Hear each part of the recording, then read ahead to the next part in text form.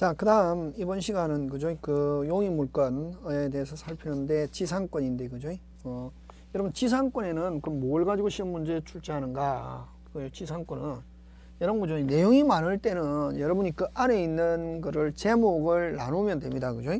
그럼 여러분 지상권은 요 지상권 일반 이론 일반 이론과 요 법정 지상권 그 다음에 구분 지상권 어, 분묘 기지권 분묘 기지권 그죠? 요 분묘 기지권 요것도 판례가 변경된 거 있죠 그죠? 그럼 뭐 요거 하고 그죠? 그 다음에 이제 지역권은 요건 이제 지상권 요 지역권은 지역권. 지역권은 뭐 지역권도 요 지역권의 승립. 그 다음에 두 번째 지역권의 부종성. 수반성. 불가분성. 요거 하고 그 다음에 세 번째 요 지역권의 소멸시효와 취득시효 다음에 네 번째 위기. 뭐 요런 어, 내용을 그죠 그 기억하면 되겠죠 그죠 그러면 여러분 지상권 일반 이론은 여러분 그죠 그 일반 지상권은 여러분 타인의 토지를 빌려서 사용 수익하는데 이 목적이 어떤 목적이냐면은 지상물 설치 목적으로 지상물 설치 목적으로 토지를 사용 수익하는 걸 이걸 이제 지상권이라고 한다. 그죠? 그럼 만약에 갑의 토지를 어리 빌려서 지상권을 설렸어. 그럼 일반적으로 지상권을 설정할 당시에 지상물이 없다. 그죠? 그러면 토지 소유자를 설정자라고 지상권 설정자와 토지를 사용하고자 하는 지상권자와 설정 계약 플러스 뭐한다? 등기 하는데 그러면 이 계약할 때 설정 계약할 때 어, 어떠한 지상물을 설치하겠다 하는 목적과 그 다음에 어, 기간. 목적과 그 다음에 어, 범위. 전부를 쓸 건지 일부를 쓸 건지 범위 하고 그 다음에 이제 기간. 기간인데 그 경관 건물. 경관 건물을 설치할 목적으로 또는 수목 을 설치한 목적으로 하면 30년 이상 기타 건물을 목적으로 하면 15년 이상. 그러면 기타 공작물 어? 5년 이상. 뭐 요런 거 요런 거 그죠? 하고. 근데 요것보다 짧게 해도 계약은 유효하고 단지 기간만 30년 15년 5년 하는 거그 다음에 만약 기간을 약정하지 않았거나 기간을 약정하지 않았을 때는 요 30년, 15년, 5년. 그 다음에 설정 당시에 지상물 구조와 목적을 알 수 없다 하면은 일괄적으로 몇 년, 15년 하는 거. 막 그런 거 여러분이 챙겨주시고. 그 다음에 여기서는 그죠? 또, 그 다음에 여러분 30년, 15년, 5년 되기 전에는 설정자, 토지 설정을 비워달라 못하죠. 근데 30년, 15년, 5년 안 돼도 비워달라 할 수 있는 경우 있죠. 요 지상권자가 위반한 경우 됐습니까? 요 설정자는 어, 지상권 소멸 청구할 수 있다. 소멸 청구권은 형성권이다. 그래서 여러분 위반하면은 설정자는 지상권자에게 지상권 소멸 청구하는 거 되겠습니까? 그 다음에 또 위반하지 않았을 때 어떻게 하냐면은 기간이 만료 기간이 만료하면 지상권자가 위반하지 않고 잘 썼다 하고 지상물이 현존하면은 지상권자를 보호하기 위해서 지상권자가 계약 갱신 청권이 있다. 어? 계약 갱신하고 싶습니다 하는 청구권 이 말 그대로 이거는 무슨 건? 철공권인데 하면은 그러면 설정자는 뭐 할 수도 있고 갱신할 수도 있고 갱신을 거절 거절하면은 어, 지상권자는 지상권자의 지상물 매수 청권이 있다. 지상물 매수 청권이 있다. 이 매수 청권은 말은 청권이란 말을 쓰고 있지만 형성권이다. 강행규정이다.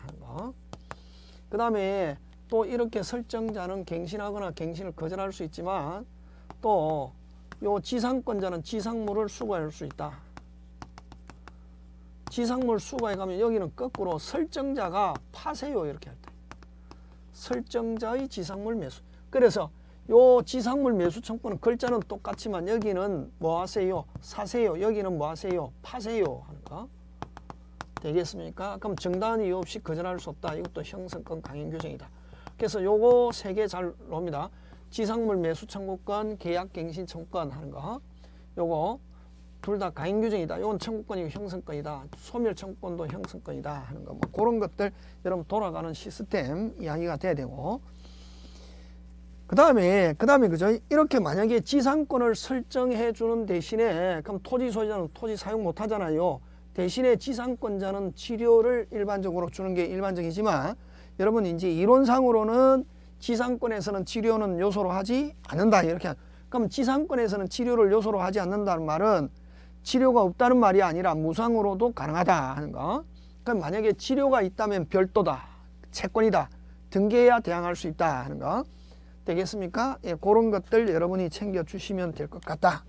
하고 그러면 여러분 일반 지상권은 또 여러분 지상 어, 지상물이 없는 상태에서 지상권 설정하는 경우는 최단 기간 제한. 아까 했죠? 30년 15년 5년 제한이 있지만 요 지상물이 있는 상태에서 지상권 설정하는 경우 그런 경우는 뭐 이미 토지에 지상물이 있고 토지를 사용하고 있으니까 임대차를 만약에 지상권으로 바꾸는 경우에는 이런 경우는 최단기간 지상물이 있는 상태에서 지상권을 설정하는 경우는 최단기간 제한받지 않고 자유롭게 어, 정할 수 있다 하는 거 뭐 그런 것들도 여러분 가끔씩 시험 문제 출제가 되고 있죠. 자, 그러면 일반적으로 일반적으로 지상권 설정할 당시에는 지상물이 없고 토지만 있고 토지 소유자와 설정계약 플러스 등기하면은 어 30년, 15년, 5년보다 짧게 못한다. 그럼 지상물이 있는 상태에서 지상권 설정하는 경우는 30년, 15년, 5년 제한받지 않고 자유롭게 정할 수 있다 하는 거. 그 다음에 법정지상권은 거꾸로 지상물이 있다. 지상물이 있고 소유자가 동일했다가 달라졌을 때 건물을 철거하지 않기 위해서 당연히 토지를 사용할 수 있는 권리를 어, 법정지상권이다 이렇게 하죠. 되겠습니까? 예. 그래서 여러분 거기에서 법정지상권 시험 문제 잘 출제하는데 그 이번 법정상권의 공통점입니다. 원래 토지 위에 건물이 있고 자 일반 지상권은 뭐 설정 당시 건물이 있을 수도 있고 없을 수도 있지만 법정상권은 반드시 건물이 있고 토지와 건물의 건물이 동일인이 소유하고 있다가 자, 자 건물이 있고 끊고 하나 1, 2 토지와 건물이 동일인이 소유하고 있다가 어떤 사정으로 토지와 건물의 소재가 다르게 되어야 한다. 자 여기에는 어, 법정 법정상권은 여러분 우리 민법에서는 몇 가지가 있냐면 세 가지가 있다. 305조 법정상권과 366조 법정상권과 관습법상의 법정상권 이렇게 몇 개가 있다? 3, 세 개가 있는데 여러분 305조 법정상권은 1. 동일 2. 건물의 전세권 설정 후 자, 1. 동일 자, 헷갈릴 때는 무조건 순서 1. 동일 2. 건물의 전세권 설정 후 3.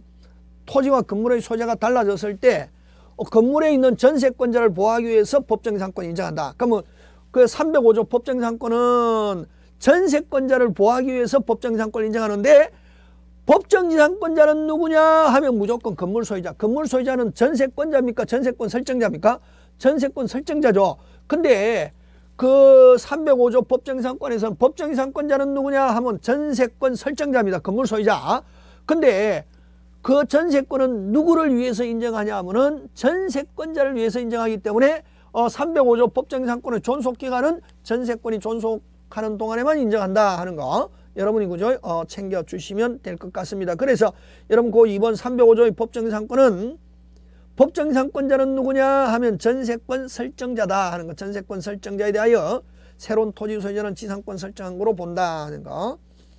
그 다음에 이제 나중에 그 뒤에 가면 나오겠지만 366조는 여러분 동일한 상태에서 저당권 설정 후 달라진 경우 됐습니까? 저당권 설정 후 달라진 경우는 어 366조 어, 법정이상권 저당권 실행으로 그래서 여러분 동일 동일 2 전세권 설정 후 달라지면은 305조 1 동일 2 저당권 설정 후 저당권 실행으로 달라지면은 어, 366조 하는 거 그런 거. 그 다음에 거기 이제 3번은 관습사유 법정이상권인데 이런 동일한 상태에서 여러분 전세권 저당권 빼고 뭐 매매 정려 교환 기타 등등으로 달라지면은 어, 관습법상의 법정이상권이다 하는 거.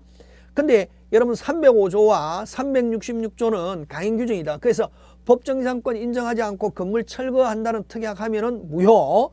근데 관습법상의 법정이상권은 강행 규정이 아니라 임의 규정입니다. 그래서 건물 철거 특약이 없어야 관습법상의 법정이상권 인정한다 하는 거. 그래서 그 여러분 3번 관습상의 법정이상권 하면 가로에서 임의 규정 하나 적어놓고 그래서 어, 동일하고 있는데 아까 저 전세권 저당권 빼고 매매 기타 원인으로 그 소유자 각각 달리하게 될 경우 당사자사의 특약이 없으면 줄칩니다. 그래서 이 관습법상의 법정상권은 강행 규정이 아니라 무슨 규정이다? 임의 규정이다 하는 거, 뭐 그런 거 기억하고 건물 소유자는 관습상의 법정상권을 취득한다. 그래서 여러분 관습법상의 법정상권은 법정상권이 성립하느냐 안 하느냐 하는 걸 가지고 잘 출제합니다. 출제하는데 여러분 그죠? 달라진 경우 달라진 경우 나오면은 거의 대부분 동일하였다가 동일하였다가 달라진 경우 하면은 관습상의 뭐 법정 지상권 이렇게 됩니다. 됐습니까? 동일하였다가 달라진 경우 하면 관습상의 법정 지상권 하는데 자 그러면 여러분 법정상 동일하였다가 달라진 경우 하면 법정상권 되는데 그럼 법정 관습상의 법정상권이 안 되는 경우 어떤 게 있냐면은 여러분 그죠? 몇 가지 시험에 뭐 여러분 정확하게 따져서 해야 되겠지만 시험은 우리가 속전속결로 그죠? 빨리 해야 되잖아 그죠? 그 어, 1분에 한 문제씩 맞추고 1분에 한, 한 문제씩 풀어야 되기 때문에 막 속전속결이단 말이죠. 그래서 여러분 뭐 어떤 선생님은 암기하지 말고 이해라 맞습니다. 그 말 맞습니다. 제가 절대로 부정하지 않습니다. 그러나 시험장에서 써먹고 시험장에서 빨리 하기 위해서는 어, 기본적으로 어, 기억할 수 있는 내용들은 기억하는 게 좋다 하는 거. 무조건 암기해라는 게 아니라 자 그러면 여러분 그죠? 법정상권이 성립 안 하는 경우는 토지의 저당권 토지의 저당권 설정 후 신축 넣으면 법정상권 성립하지 않습니다. 1번 됐습니까? 토지의 저당권 설정 후 신축하면 법정상권 하지 않고 그 다음 승낙을 얻어 승낙을 얻어 신축 역시 법정상권 성립하지 않습니다. 자, 그 다음에 공유 토지에 공유 토지에 됐습니까? 공유 토지에 어, 공유자 어, 1인이 1인이 신축 후 됐습니까? 공유 토지에 공유자 1인이 신축 후 어, 건물 이전 토지 지분 이전 이런 말 놓으면은 어, 법정상권 되지 않습니다. 그러나 공유 토지에 1인이 신축 후 신축 후 분할 됐습니까? 어, 분할 토지 분할로 인하여 토지 분할로 어, 토지와 건물 소유자가 달라진 경우 하면은 이건 법정상권 된다 하는 거. 요거 요거는 법정상권 안 됩니다. 세개 그죠? 막 그런 거 기억하고 그 다음 네 번째 네 번째 음, 그 다음에 토지와 건물의 공동저당 후 건물을 멸실하고 멸실하고 멸실하고 새로 신축 한 경우 역시 요것도 법정 상권 되지 않습니다. 그래서 요 1, 2, 3, 4 그럼 이거 말고 많습니다만 중요 사항은 저런 것 꼭 기억돼야 되겠죠. 그죠? 그래서 여러분 그 307페이지 맨 밑에 가로 1번 승낙을 얻어 신축하면 무조건 법정 상권 될 수 없다. 그 다음에 토지와 건물 중 어느 하나가 매매, 정려, 공매, 강제행위로 분할 등 기타 원으로 각각 다르게 된 경우 자 토지와 건물 중 소유자가 각각 다르게 된 경우 그 매매, 정려, 기타 사용으로 다르게 된 경우 하면 법정상권 됩니다. 그래서 여러분 가로 1번은 법정상권 안 되고 가로 2번은 법정상권 되고 자 그 다음에 3번 당사자의 건물 철거한다는 특이하게 없어야 되고 그래서 간섭상의 법정상권은 강행 규정이 아니라 무슨 규정이다? 임의 규정이다 하는 거. 자 그 다음에 4번 토지와 건물 중 건물만을 양도하면서 여기까지 끊으면 법정상권입니다. 앞에 생략되어 있습니다. 동일한 상태에서 건물만을 양도하면서 하면 건물에 대한 법정상권인데 건물 소유자는 당연히 토지를 사용할 수 있는 법정상권이 있는데 자, 요 가로 4번 짱 중요합니다. 따로 건물을 위해 토지에 대한 임대차 계약을 체결한다는 말은 법정지상권을 가지고 토지를 쓰지 않고 토지 임대차를 가지고 어, 토지를 사용한다. 그래서 법정상권을 포기한 거로 본다 하는 거. 4번 짱 중요 표시해 두시고 시험 문제 잘 출제합니다. 그 다음에 미등기 건물을 전매한 자. 자, 미등기 건물을 전매한 자는 자, 미등기 하면은 미등기 하면은 법적으로 토지와 건물의 소유자가 달라져야 됩니다. 미등기 건물을 전매한 자는 법정상권 될 수 없습니다. 달라졌습니까? 안 달라졌습니까? 아니 달라지지 않았기 때문에 막 하는 거 그런 거 기억하고 자, 그 다음에 여러분 반가로 1번 짱 중요합니다. 자, 대지와 지상 건물의 미등기 건물을 소유하고 있던 갑이 을에게 대지와 함께 미등기 건물을 매매하고 자, 요걸 일명 함께 매수, 함께 양도 다시 뭐 함께 매수, 함께 양도하고 다시 뭐 함께 매수, 함께 양도하고 토지만 등기 나오면 결론은 법정상권 성립하지 않습니다. 굉장히 중요한 판례입니다. 됐습니까? 이 동일한 상태에서 함께 매수, 함께 양도하고 토지만 등기하고 건물은 등기 안 하면은 형식상으로는 토지와 건물의 소재가 달라져 가지고 건물은 법정상권 돼야 되지만 요는 법정상권 되지 않는다 하는 거 꼭 기억합니다. 그래서 이걸 일명 함께 매수, 함께 양도 동일인에게 양도하고 한 번만 두 번 등기해야 되는데 한 번만 등기 나오면 법정상권 되지 않는다. 꼭 기억해야 됩니다. 그거 그죠? 그래서 5번에 반가로 1번 시험 문제 굉장히 잘 출제합니다. 그 다음에 후에 을이 어, 소유한 대지에 저당권이 설정돼 그 경매가 실행돼도 법정상권 되지 않습니다 하는 거고 그 가로 5번 매우 중요합니다. 그래서 가로 2번 중에서 반가로 1번 함께 매수 함께 양도하고 자 몇 번 등기해야 됩니까? 두 번 등기해야 되는데 한 번 토지만 등기했다. 결론 법정상권 성립하지 않는다 하는 거. 6번 역시 마찬가지입니다. 함께 매매하면서 대지는 매수인에게 이전 등기한 건물에 대한 등기는 매도인에게 그대로 남아있는 경우 역시 법정상권 성립하지 않는다 하는 게 판례 입장입니다. 중요합니다. 5번, 6번 중요합니다. 자, 그 다음에 후에 여기에 토지의 저당권 설정했을 때 해가지고 실행되어도 역시 법정상권 되지 않는다 하는 거. 5번, 6번 같은 내용이죠. 그죠? 네, 같은 내용입니다. 그 다음 7번 장차 철거될 것을 예상하면서 신축한 경우 역시 어, 법정상권 어, 할수 없다. 8번 공유자 중 한 사람이 다른 공유자의 동의를 신축 후 건물을 양도하거나 자 아까 공유 토지에 공유자 한 사람이 다른 공유자의 동의를 건물을 지어가지고 건물 이전 토지 지분 이전 법정상권 되지 않고 분할로 인하여 토지와 건물이 달라져야 그래서 건물을 신축한 후 건물을 양도하거나 토지 지분을 양도한 경우는 법정상권 성립하지 않습니다. 그러나 토지 공유자 1인이 소유하고 건물이 소유한 토지를 분할로 인하여 분할하여 토지와 건물의 소, 건물 소유자가 아닌 자의 단독 소유로 바뀐 경우는 건물 소유는 법정상권 취득한다 하는 거. 8번 짱 중요. 여기에 있는 거 다 시험에 잘 나오는 지문입니다. 정확하게 여러분 숙지하고 기억하고 있어야 됩니다. 자, 그 다음에 이제 3번 구분 소유적 공유입니다. 무슨 적 공유? 구분 소유적 공유인데 여러분 그 한 필지를 뭐 각각 나누어서 산 거 하지만 어, 분할해야 되는데 분할하지 않고 공유로 해둔 걸 이걸 구분 소유적 공유로 하잖아요. 그지? 자, 요것도 잘 내는데 여러분 구분 소유적 공유는 자, 냇물을 기준으로 왼쪽 값 오른쪽 쓰고 요 자신의 특정 부분의 신축 각자가 자신의 특정 부분의 신축하면 토지와 건물의 소재는 동일한 걸로 봅니다.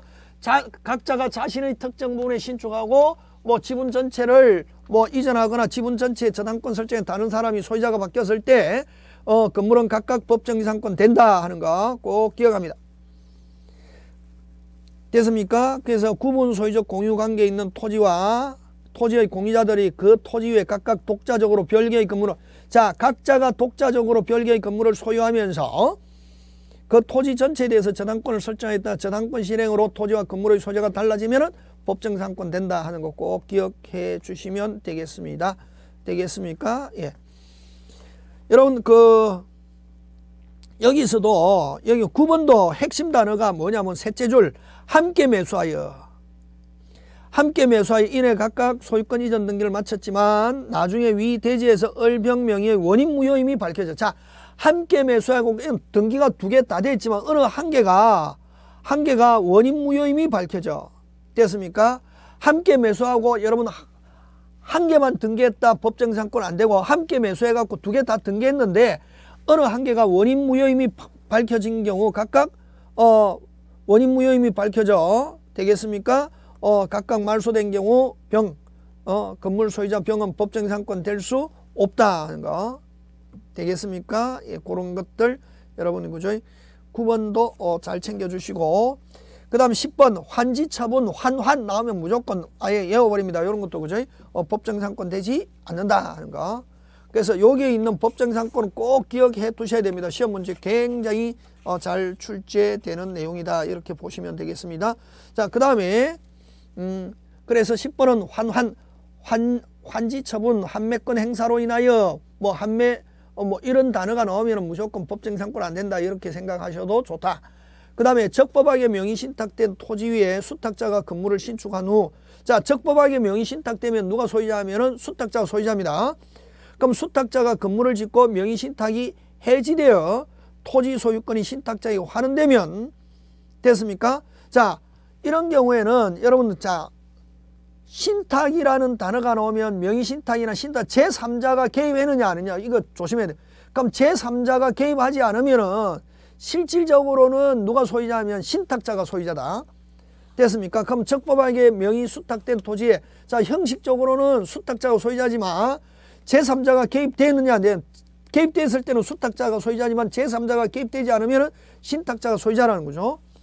그 다음에 어 수탁자가 어, 건물을 신축한 후 그럼 명의신탁이 해지되어 토지 소유권 신탁자에 환원되면 은 됐습니까? 그러면 이런 경우는 형식상으로 보면은 법정상권 돼야지 뭐 건물은 수탁자, 토지는 신탁자 이래 돼야 되지만 자기들끼리에서는 여전히 건물도 누가 신탁자가 소유자다. 그래서 어, 수탁자에서 관습상의 법정상권 취득하지 못한다. 그래서 여러분 신탁이나 명의신탁이 나오면은 제3자가 개입했느냐 안 했냐 이게 굉장히 중요합니다. 제3자가 개입 안 했을 때는 실질적으로는 누가 소유자면 신탁자가 소유자다. 그럼 제3자가 개입하면은 누가 소유자면은 형식상으로 수탁자가 소유자다 이렇게 어, 처리하면은 어, 혼돈되지 않고 잘 해결될 거라고 봅니다. 그 다음에 12번 건물의 등기부 소유 명의를 시, 어, 타인에게 신탁한 경우에 신탁자는 제3자에게 그 건물이 자기 소유임을 주장할 수 없고 자 제3자가 개입하면 은 누가 소유자입니까? 수탁자가 소유자죠. 그 건물의 그 건물과 부지 토지가 동일인이 소임을 전제로 한 어, 법정 지상권은 신탁자는 취득할 수 없고 만약에 하게 되면 했다가 달라지면 수탁자가 법정 지상권 된다 하는 거. 되겠습니까? 신탁자는 취득할 수 없다 하는 거막 그렇게 여러분 챙겨주시고. 자 그 다음에 어, 366조 법정 지상권. 자 요거는 아까 동일한 상태에서 1 동일 2 저당권 설정 3 저당권 실행으로 토지와 건물의 소재가 다르게 되면 건물 소유자는 당연히 법정상권을 취득하게 된다 하는 거. 막 그런 것들 여러분 기억해 주시고 여기서는 무엇을 가지고 시험 문제 잘 출제하냐면 일괄 경매 뭐를 가지고 잘 출제하냐면 일괄 경매를 가지고 시험 문제 잘 출제하는데 여러분 그죠? 자 여러분 어 을에게 돈 빌려주고 토지만 있는 상태에서 저당권 설정 이후에 신축했다. 그럼 설정 당시에 건물이 없었기 때문에 저당권은 토지에만 미칩니다. 원칙적으로 토지만 실행하고 이, 이후에 그 지어진 건물은 경락이는 건물 철거 청구하거나 토지 이후에 그 지어진 건물에 대해서 실행 당시에 동일하면은 중요한 거는 누가 지었냐 중요 안 합니다. 실행 당시에 동일하면은 건물에는 미치지 않지만 일괄 경매 청구할 수 있다. 어쨌든 여기에서는 어, 법정지상권은 성립하지 않는다 하는 거. 그거 여러분이 그죠? 어, 챙겨 주시면 되겠습니다. 그래서 음 이런 거 4번에 가로 1번에 반가로 1번 반가로 토지의 저당권 설정한 후 신축 어쨌든 설정 당시에 건물이 없다. 결론은 법정상권 승립하지 않습니다. 설정 후 신축하고 어 그러면 토지의 저당권 설정하고 이후에 신축했는데 그럼 저당권은 어디에 미치냐면 토지에만 미치고 건물에는 미치지 않습니다. 하지만 자 신축되어 설정자가 소유하고 있는 경우는 실행 당시에 동일하면은 함께 경매 청구할 수 있다. 이걸 무슨 경매라 합니까? 일괄 경매라고 그러고 그러면 함께 경매 청구하더라도 토지 대금에 대해서만 우선 변제받고 건물 대금에 대해서 우선 변제받을 수 없다 하는 거. 막 그런 거. 여러분 그 반가로 1번은 일괄 경매에 대한 내용이다. 그럼 2번 저당권 설정 당시에 존재했던 건물이 자 설정 당시에 건물이 있었습니다. 하면 법정상권 됩니다. 그러면 설정 당시를 기준으로 법정상권 요건을 따진단 말이죠. 설정 당시에 건물이 있고 동일했는데 그 이후에 신축, 재축, 개축, 정축되어도 법정상권 그대로 살아있다 안 살아있다? 살아있다 하는 거. 그게 반가로 2번. 어, 그래서 366조 법정상권은 언제를 기준하냐면 설정 당시를 기준한다. 당시에 존재했던 건물이 그 후 신축, 정축, 개축, 재축되어 법정상권 된 경우에도 법정상 그대로 존속하고 이런 경우는 처음 설정 당시에 있던 구 건물을 기준으로 범위와 목적에 따라 내용과 범위가 한정된다는 거. 그 다음에 아까 쪽, 자, 3번에 동그라미 1번, 공동저당 후 건물을 철, 후 끊고 건물을 철거하고 하면 건물에 대한 저당권은 소멸하고 어디에 대한 저당권만 남아 있습니까? 토지. 새로 신축하면 신축한 건물에는 저당권 미친지 않고 그럼 토지의 저당권 이후에 신축, 토지의 저당권 이후에 신축하면 일괄 경매 요건이죠. 법정상권 성립하지 않습니다. 저당권자는 토지와 함께 신축 건물을 경매할 수 있고 그럼 일괄 경매 요건이 되고 법정상권 되지 않는다. 그럼 밑에 2번 역시 마찬가지입니다. 그죠? 막 그런 거. 여러분 그래서 3번의 동그라미 1번과 2번은 무슨 경매? 일괄 경매 요건이다 하는 거. 여러분이 그죠? 어, 챙겨주시면 될 것 같습니다. 자, 그 다음에 그 310페이지 가서, 음, 366조의 법정상권 승리방에서는 저당권 설정 당시에 토지와 건물이 동일 소유자에게 속하고 있어야 되고 그 다음에 반가로 1번 동일 소유자에 속하였다가 설정 후에 토지와 건물의 소유자가 다르게 된 때 법정상권 성립한다. 그 다음에 지상 건물이 있는 토지의 저당권을 설정한 후 건물 양수인이 취득한 관습상의 법정을 저당권 실행으로 소멸하지만 그와 동시에 366조 법정상권 취득하게 된다. 뭐 그런 것들 그죠? 뭐 여러분 별 문제가 되지 않습니다. 그래서 가로 4번 가납니다. 법정상권 305조와 366조. 자, 동일한 상태에서 전세권, 동일한 상태에서 저당권. 그 두 개는 강행 규정으로 무슨 규정으로? 강행 규정으로 법정 상권을 배제한 당사 특약은 유효 무효 무효 하는 거 그런 거 기억하고 그럼 한 번 법정 상권 승립하면 또 내용과 기간이 정해지고 그 다음에 뭐 신축 정축 개, 개축 재축됐다 하더라도 어, 종전에 있는 법정 상권 그대로 살아있다 안 살아있다 살아있는데 구 건물을 기준으로 무슨 건물을 기준으로 구 건물을 기준으로 한정된다 하는 거. 그 다음에 법정상권의 효과입니다. 자, 법정상권은 법정상권의 등기는 자, 법, 법정 나오면은 등기 없이 제3자에게 대항할 수 있다. 등기 없이도 취득하고 등기를 필요로 하지 않는다. 그러나 이를 제3자에게 처벌하려면 어, 양수인 앞으로 지상권 이전 등기가 격려해야 된다 거죠. 자, 그 다음에 여러분 1, 2, 3, 4 그거 시험 문제 잘 출제하는데 310페이지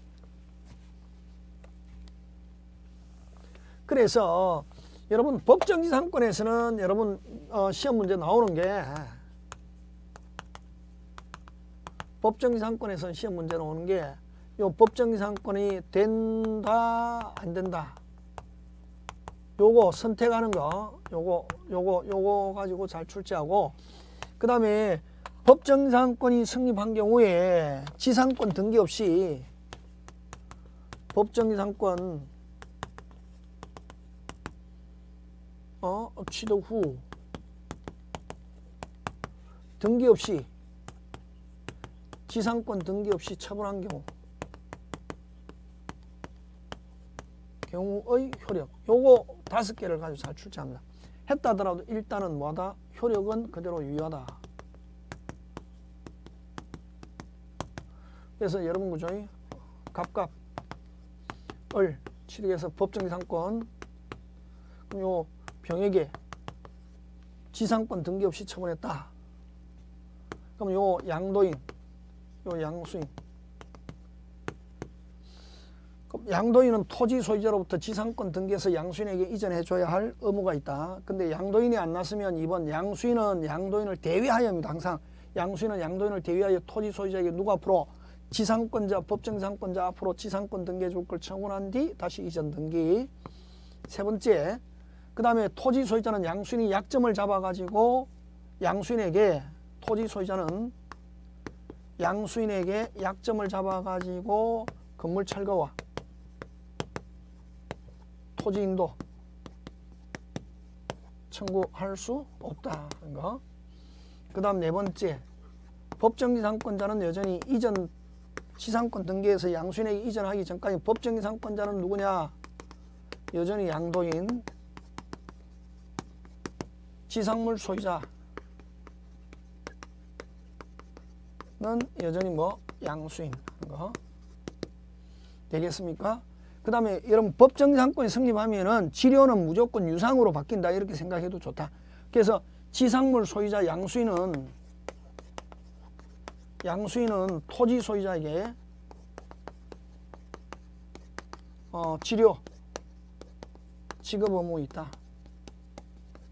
치료 지급 의무 있다 하는 거, 막 그런 거 여러분이 그죠? 어, 챙겨 주시면 될 것 같습니다. 그런 내용인데, 그래서 5번 법정지상권의 효과 아까 했죠, 그죠? 그 법정지상권에선 지상권 등기는 처분 요건인데 됐습니까? 자, 근데 그 지상권 등기 없이 이렇게 어리 처분했을 때, 그 건물 소유권만 이전했을 때 효력은 어떻게 보느냐? 유효, 종물이론, 소유권, 지상권, 하면은 소유권 이전하면 지상권도 양도에 대한 합의가 있은 거로 본다. 주된 권리가 이전하면 종된 권리도 함께 이전한 거로 본다 하는 거 그런 거. 그래서 법정 지상권을 취득한 건물 소유자가 건물을 양도하는 경우에 의사표시를 반대로 해석해야 할 특별한 사정이 없는 한 건물과 함께 지상권도 양도하는 거로 합의하는 거로와 양수행 이전 등에 관한 청권은 인정하고 효력은 그대로 유효하다. 그 다음에 양도인이 등기 절차에 협력하지 않을 때 양수인은 양도인을 대위하여 토지 소유자에게 지상권 등기를 양도인에게 해줄 것을 청구할 수 있고 양도인에게 어, 지상권 등기를 격려한 뒤 양수인에게 이어서 다시 양도인으로부터 이전 등기를 함으로써 법정상권 취득한다. 그 다음에 어, 토지 소유자는 무조건 해줘야 할 의무가 있고 인용 의무가 있는데 토지 소유자가 양수인에게 약점을 잡아가지고 철거 청구하는 것은 허용하지 않는다 하는 거. 그 다음에 어, 특히 4번은 여러분 맨 밑에 반가로 4번 법정지상권이 있는 건물을 경매로 이전받은 경우 법정지상권이 있는 건물을 경매로 이전받은 경우는 건물 소유권뿐만 아니라 법정지상권도 등기 없이 하는 것. 그 경매로 건물 소유로 인하여 법정을 취득한 자로부터 자 동그라미 합니다. 경매로 인하여 경매로 경매에 의하여 소유권 이전받은 경우는 이전받은 매수인이 이건 경락인을 가리키겠죠. 등기 없이도 법정상권 취득한다. 짱 중요 잘 냅니다. 막 그런 거. 그 다음에 여러분 그 법정상권의 치료인데 어, 법정상권은 치료를 지급할 의무가 있다. 그래서 법정상권이 성립하면은 유상으로 바뀐다. 이렇게 생각해도 좋다. 치료는 당사 협의로 정하나 협의가 이루어지지 않으면 당사 청구에 법원이 정한다. 법원이 정하는 치료는 지상권이 성립한 대로 소급하여 하는 거 꼭 기억합니다. 뭐하여? 소급하여 청구가 있을 때 소급하여 그 효력이 발생한다. 그 다음 치료를 지급하지 않은 법정상권자는 부당이득 의무를 부담하지만 결정이 된 후 2년간 치료를 체납하여야 위반으로 소멸 청구할 수 있다. 그거죠. 그 다음에 존속기간, 아까 했죠. 최단기간. 그 다음에 계약갱신과 지상물 매수하는 것, 뭐 그런 것들 여러분이 그죠? 어, 챙겨주시면 되겠습니다. 되겠습니까? 예, 그런 것들. 그래서 뭐 여러분 사세요 이렇게 할 수 있죠. 무허가 지상물도 사세요. 토지 소유자 소용 여부와 관계없이 사세요 이렇게 할 수 있다 하는 거 꼭 기억되어져야 되겠다 그죠? 뭐. 그 다음에 다음 페이지 가서 어, 지상권의 처분 여러분 지상권과 지상물 소유권하고는 분리해서 양도할 수 있다. 그래서 다를 수도 있다 하는 거. 그래서 지상권은 지상권을 양도할 수 있고 존속된 토지를 임대할 수 있는 바 이런 강행 규정이다. 그래서 여러분 지상권의 양도, 임대, 처분 됐습니까? 이런 지상권의 처분은 강행 규정이 자 그래서 여러분 312페이지 지상권의 처분 요거는 뭐 강행 규정이다 하는 거 꼭 기억합니다. 굉장히 중요하다. 자 근데 여러분 지상권은 토지를 사용하는 권리거든. 그래서 지상물이 멸실해도 지상물이 멸실해도 지, 기간이 남아있으면 지상권은 소멸하지 않는다. 그래서 2번 잘냅니다. 지상물이 멸실해도 지상권은 소멸하지 않는다 하는 거. 그 다음에 지상권의 처분은 절대적이다. 담보로 제공할 수 있고 저당권 설정 금지 특약은 무효는 아니나 당사의 채권적 효력을 가지고 제3자에게 대응하지 못한다. 자 이전 양도 처분 자 이전 양도 처분 임대 다시 이전 양도 처분 임대 못하게 한다는 약정 무효 그러나 저당권 설정 못한다는 약정은 그대로 뭐하다? 유효하고 누구들끼리에서만 자기들끼리에서만 하는 거 그런 거.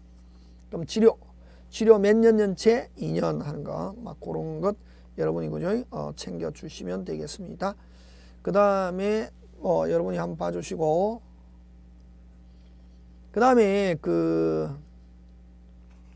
토지 치료 몇년 년채 하면 2년 하는 거 여러분 도합이 2년이 아니라 현재 당사자 명의로 2년 자 만약에 소유자가 바뀌었을 때 앞 사람까지 합쳐서 도합이 2년 아니고 현재 당사자 명의로 2년 연체야 위반이다 하는 거뭐 그런 거 기억하고.